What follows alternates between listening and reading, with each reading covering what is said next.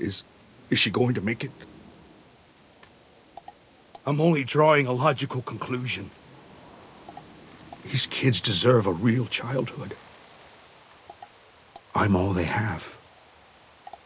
The snow, it covered her grave. Erased it. Like she'd never been there at all.